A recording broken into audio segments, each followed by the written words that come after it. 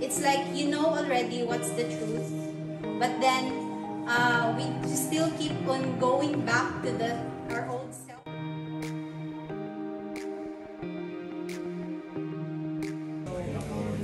Yan na punta na gather to learn another lesson from the Bible. So for this afternoon, uh, we're gonna study about the first covenant and the new covenant.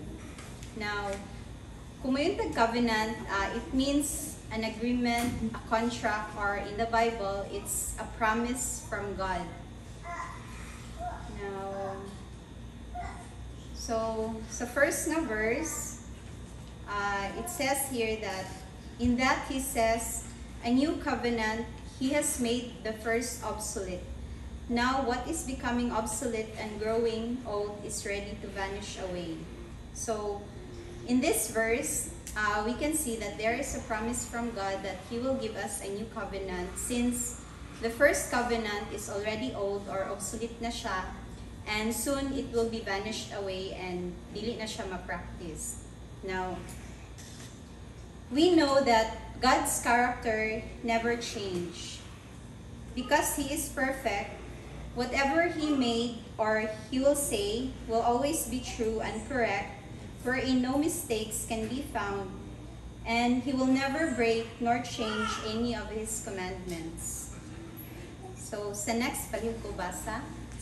Hindi mabalapaso ng akong tugod, ni pagalisdan ang usang namigla sa akong mga napil. Now, uh, from if mo base ta sa first nga verse, medyo libog siya no kay, 'di ba? It says sa first nga uh, ilisan maghatag si God og bag-o nga covenant since the old one is kanang karaan na, then need na siya ilisan. But on the second one pod, it's uh, sa second nga verse, it says here that my covenant I will not break nor alter the word that has gone out of my lips. So malibog ta kay sa first iyang ilisan but on this verse he said nga wala siya i-break kung unsa to iyahang covenant or i-alter whatever nga nigawas na sa iyahang or unsa na iyang gisulti. Now, as we go along with the study, medyo confusing siya right now with these two verses but as we go along with the study, we will learn then what is really the meaning of these verses. So, the law was made to bring a perfect, sinless, and righteous life, but no Israelites was able to fulfill until Je- Jesus came. He was the first and last to accomplish. So, palihog ko read. Ang kauna-una kami niya ko aron sa pagbukas sa kasubuan o sa mga propeta. Ako miyan hindi sa pagbungag, kundi sa pagtungan. So in this verse, uh, niingon siya nga, wala siya ni Anhi to destroy what he has already made na covenant, but instead, he will fulfill what is needed to be done. So the old covenant was intended to lead to the new covenant. That transition is not to eradicate what has God has spoken, but rather to complete its purpose. Mm-hmm. Then, next, palihig ko, read. Ang pulong ng Jehova alam kaliwan, mo ang sugo ibabaw sa sugo. Sugo ibabaw sa sugo, lati ibabaw sa lati, lati ibabaw sa lati. Dinhi mo jutay, dito mo jutay. Ano sila mga to.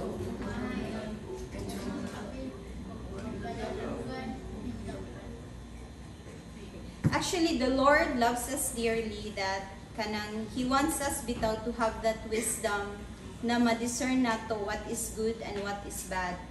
Then, on our part, we need to, kana bitang dapat, we need to really understand what is really uh, in the Bible and not just kana bitong mukha lang tag gamay nga knowledge, then kana bitong dili gid bitaw siya as a whole. So we need to understand what is written in the Bible as a whole so that we can understand what the Lord really wants us to do or kung unsa gid ang iyahang commandments so that uh, it will help us nga ma-increase atong faith and ma-avoid bitaw nato nga later on mag-backslide ta from kung unsa ang atong mga natunan. Now, the new covenant is a covenant of sovereign grace and it is accomplished what the law and the old covenant could never do. Now, first we'll magkuan sa ta. Covenant means a promise or a contract. Now, it's not our covenant, but rather, God says, my covenant. Ah, nga nung igiinani man pagkaingon ni God, nga iyahang covenant. It's because um, all of us, di ba, we are all sinners. None of us is righteous. So, nakita na ni God nga in the long run, we will really fall into sin. So, uh, mo nang ang iyang pagkaingon is iyahang covenant.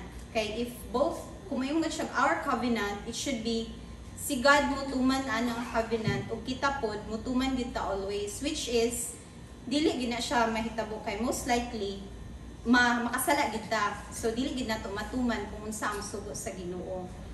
Now God never change and God keeps his promises and that God's law is forever. So always na nato i ibutang sa atong mind nga never gid mo change ang Ginoo then whatever since he is perfect ba yan he is all knowing whatever nga iyahang iingon or ang iya nang nabuhat mo gina siya ang kanabitang kamatuuran mo gina siya ang truth o dili gina siya. Never pagit siya na sayo. So next palihog ko read Anina karon ng mga adlaw mabut na, nagayon si Jehovah, nga ako ang magbuhat sa kabagong tugon uban sa balay sa Israel, uban sa balay sa Judah. Di sama sa tugon na gibuhat ko uban sa ilang mga amahan sa adlaw nga ginag ko sila sa kamot sa pagkulang ikat sa yuta sa Hipto. Nangong tugon ilang ilakas, bisan ako mao ang ilang banan, Kaingon si Jehovah. Apan kini mao ang tugon nga pagbuhaton ko uban balay sa tapos niya itong mga adlaw. Nagaingon si Jehovah. Idugang ko ang akong subuhan sa ilang sulod, mga. Kung tira sa ilang kasing-kasing, hindi isulat ko. Pag ako magiging ilang Diyos, isla ang akong katauhan. So, dani nga verse, uh, niingon di ba si God, kato yung promise nga, He will give us a new covenant. Then, in here, dili siya same kung unsa to yung first nga covenant nga nga nahatag sa atua. Kundili, it's a new one since ang covenant niya is more on bitong kanang personal relationship na nato sa iya ha since uh, his law kung sa mga commandments, iya man siyang ibutang not just in our minds but also in our hearts. Now, the new covenant is a personal relationship with God since He will put the law in our inward parts and write it in our hearts in a way that we will have the true heart to accept and love Jesus as our Savior, which will make us easy to obey and follow His commandments. So, di ba kung kung sa huna-huna lang nato, most likely, makalimot gid ta. But then si God, ang iyang gibuhat sa new commandment is iya na yung gi-instill not just to our minds but also in our hearts because ang heart gid baya maski ba mo deny ka it will show gid baya sa imong heart. So ang heart never gid siya kanabitang makalimot and mao gid siya mostly ang mo prevail. So now if we have that like if we have Jesus in our not just in our mind but in our hearts as well then it will be more easier for us to do to do godly words or godly deeds. Mas sayon sa ato bitaw nga tumano ng iyahang mga pulong o iyahang mga commandments. Now, God said that if the people will obey and keep His covenant, He will make them His special treasure above all the rest. So, parihog ko basa? Sa karon kung kamo magpadaling mo kayo sa akong tingin, magabantay ka mo sa akong. Na mo mamahimo nga akong kagalingon nga bahan ikan sa kinatibulan. Sa tanan kang katawan, kaya tibuo kayo ta ako man. Kung alam ka na ko, kamo mahimo nga usa ka sa mga saserdote, o usa ka balaan nga nasod, Pili mo ang magpulong na ikamulong mo sa mga anak sa Israel o ang tanan na katauhan na dudungan sa pagkuba ug miingon, ang tanan nga giingon ni pagkabuhaton. O si Moises sa mga pulong sa kan Jehova. So in this verse, it was actually made for the faithful Israelites and future generations. Wherein, ingon si God that if they will submit to God, obey and follow His commandments, and keep His covenant, in return, He will help them, bless them, and protect them, which only our Creator, si Jesus, ang makabuhat.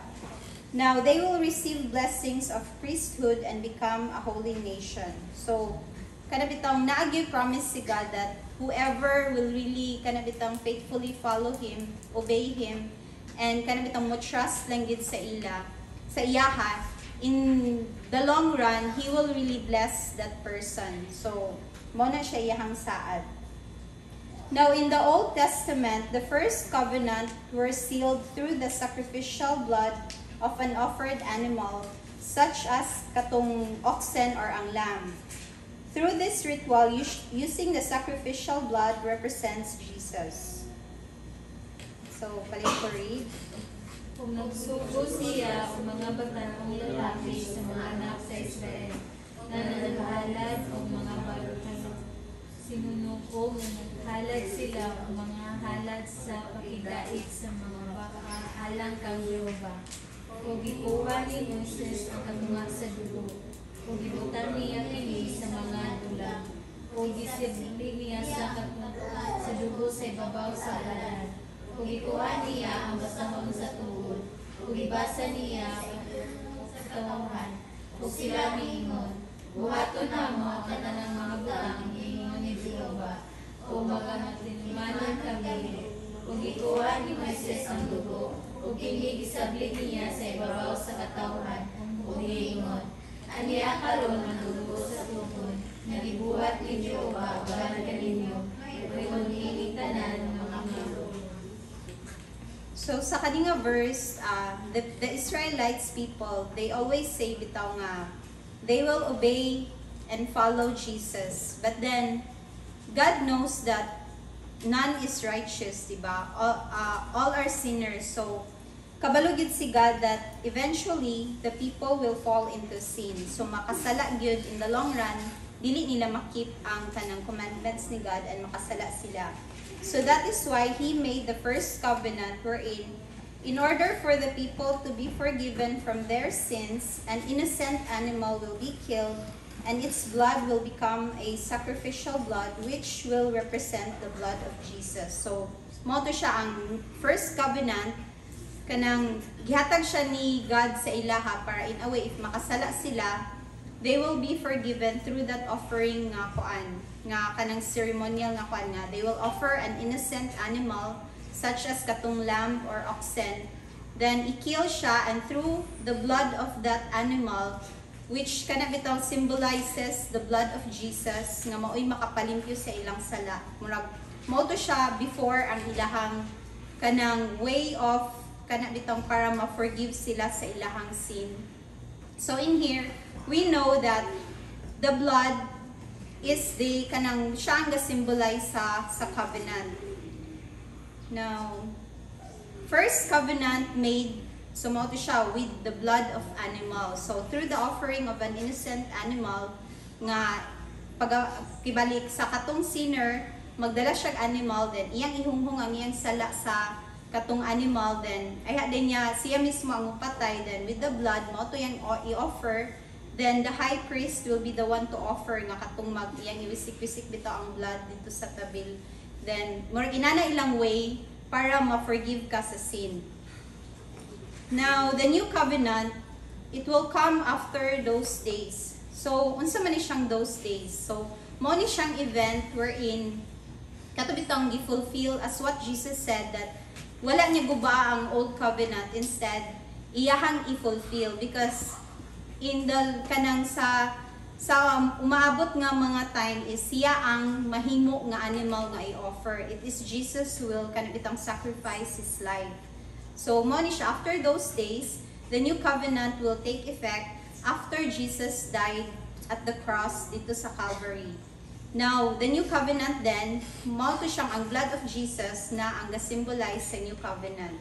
Then, along with it, there is that promise of God also that instead of kanang the previous bitaw nila nga ginabuhat nga mag-offer o kanang innocent nga animal through that blood is kanang ang law niya is ibutang na niya gid sa ato ang hearts in our minds nga para sure gid nga mas more on ta kana bitong dili nato siya malimtan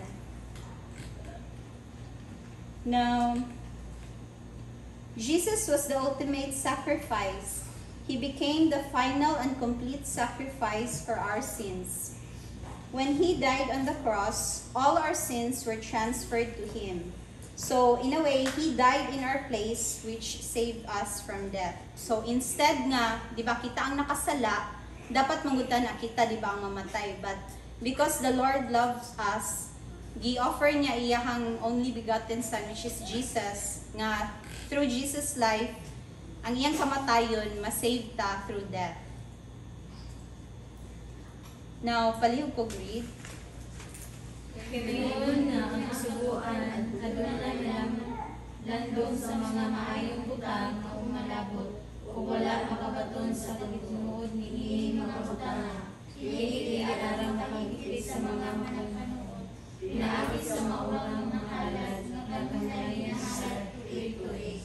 Kay dili kayo mahimo nga ang dugo sa mga puro na baka mga kandi makakuha sa mga sala. Tungod ni Ana sa ni Kristo sa kalibutan, siya miingon, ang mga gasa, kundi sa kalawas na kung imong itaganan. Okay. So, ang old covenant di ay, uh, those are just shadow of good things to come. Now, the animal sacrifice could never truly take away our sins. It is never enough for only Jesus, the perfect sacrifice of the new covenant, takes away the sins of the world. So, di ba na ni uh, it is not possible that the blood of bulls and of goats should take away our sins. So, dili ay enough rato ang katong pag-offer sa mga animals because kung imong imagine nun, di ba, kita tao makasala man gid ta. So imagine kung nagpadayon lang tong first covenant nga until now ato gihapon to siyang kanang ginabuhat.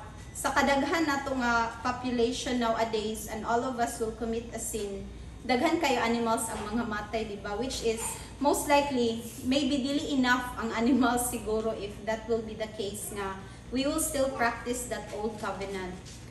Now it is only Jesus lang pud yun ang siya lang gid ang perfect nga kana bitang uh, maka ano gid ba maka-save sa atoa from all our sins.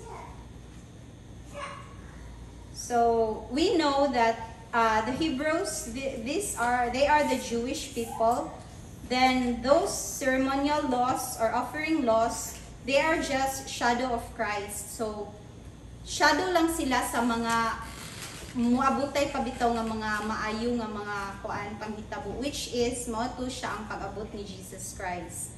Now, ang katong ginagamit nga offering from the old covenant which is ang lamb uh, in the new covenant mao na din na siya ang equal niya is si Jesus. Mao na siya nga symbolize sa kang Jesus. Then from the old covenant ang gina-offer is the blood of animals. Though in the new covenant, it represent it uh, symbolizes or represents the blood of Jesus. Now, palihog ko read John 1.29. Sa pagkasunod nga daw, iyang nakita si Jesus na nagpaingon kaniya, ug siya miingon, Nanawa, mao ka na ang regreso ni Diyos, mga nakasala sa kalibutan. Okay. So, naada ni nga, kanang it is really Jesus lang yun ang ang makasave sa atoa that can really take away our the sins of the world.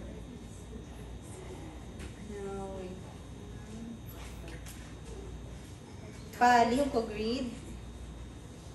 Ah, kanilang siguro i-read lang ang number 8 and also number number 9. Oo. Apan kay iya man sila nakaplagan ng may kakulang siya nagaingon, Moabot ra ang mga adlaw nga pagahimuon ko ang usa ka bagong pagsilaan, uban sa kaliwanan ni Israel, sa kaliwanan ni Juda. Dili ingon sa pakigsaan nga gihimo ko uban sa ilang mga hinikanan niadto nga adlaw sa akong pagbangit sa kanila sa kamot aron sa pagdala kanila sa gawas silta sa Egypto. Kaya wala sila magpinumano sa akong pakigsaan. Ubusa wala ako manubalik kanila, nagayon ang Ginoo. So, ang kani actually nga verses, uh, some of the verses here, naana siya ganina sa previous na slide. So, kung makita na to, isa dani is ang pakigsaad wala pay kulang. So, actually, ang katong Old Covenant, wala man kulang sa iyaha. If we will truly understand gid bitaw ang First Covenant ug New Covenant, we will know then that it is not that the First Covenant or the law of God that was lacking. Rather, it is us, the people who are not able to obey and follow His commandments. So, actually, dili gid ang law ni God, dili ang first covenant ang nagkulang. Dili siya. It's just that kita, as kanang tao, we are kanang bitang by nature, kita ang nagkulang since we are born sinners. So, naagid sa ato man ang pagkulang. O nang, but since the Lord love, loves us dearly, gihimo na niya ang mga covenants, mga promise, mga agreement nato between Him. Because gusto niya, He wants us to give a chance nga ma-redeem nato atong selves and makanabitang makarepent ta on whatever sins we have. Mo nang naanang ga-exist ng first covenant o katong gihatag niya nga new covenant. Tungod kay nagkulang man gud ta di ba dili ta gyud dili gyud ta maka-obey sa iya nga dire-diretso. So the moment that we fail since the Lord loves us mangita siya pamaagi wherein makabalik na pud sa iya ha inana tanin nga ka love. We always fall into sin but since Jesus is a loving and merciful God he is always there to give us new hope. He was ready to die for us to save us from our sins. Now as a recap we need to realize that God loves us dearly, that He made these covenants for us to be saved from the penalty of our sins. So, inanagit ta ka-love ni God, nga dili niya gusto nga, basta-basta lang bitaw ta mapildi and mapaingon ta sa, sa bad nga side or ma-fall ta kay Satan. But rather, gusto niya nga ma-save ta the, mom- the moment we fail, gusto niya nga ibangon bitaw ta niya. Then the first covenant, the ceremonial laws and the offerings, they are just shadow of the good things to come, which is Jesus. So, dapat ibutang na to sa mind nga, kada ang buot pasabot atong sa first nga verse nga, i-vanish na niya ang first covenant kay obsolete na. Ang iba ang iwala lang man niya ato is the ceremonial kanang offering itself. Like kato lang magpagpatay sa kanang innocent ka animal nga i-offer. That's the only kuan man gyud ang meaning ato. But it is not the law itself gyud. Now, there's the promise that Jesus, who is our Savior and Redeemer, Redeemer, will free us from all our sins. And all we need to do is to faithfully obey lang good, follow God, and keep His commandments. For we know that only Jesus can fulfill what is needed to be done. So I hope that little by little, kanang itong ma-realize na to how important it is to really follow His way. It's like you know already what's the truth, but then uh, we still keep on going back to the our old